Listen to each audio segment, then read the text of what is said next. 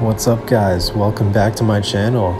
Just want to say thank you to everyone that's been watching and liking and all the new subscribers. I'm going to be thanking you guys every video so I hope it doesn't get too annoying. I recently got a new nutrient sponsor, my first official sponsor.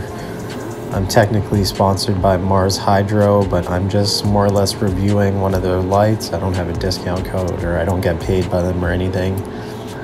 But this right here, I'm not getting paid by them either. I'm literally just getting free newts.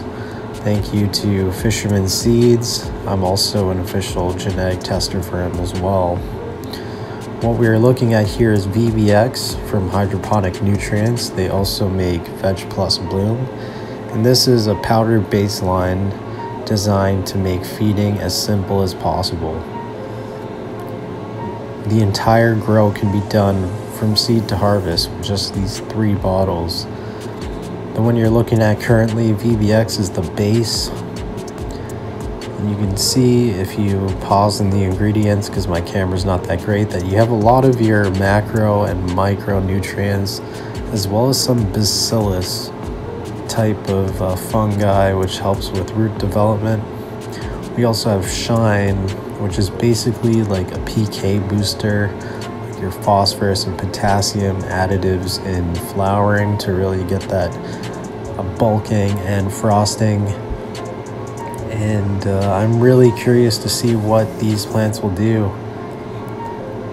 As you can see, there's not too many ingredients in here, but it's got magnesium, which is perfect because uh, CalMag is kind of inefficient in flower you really need the magnesium more than calcium. So uh, it's great to see that there's no calcium in their shine.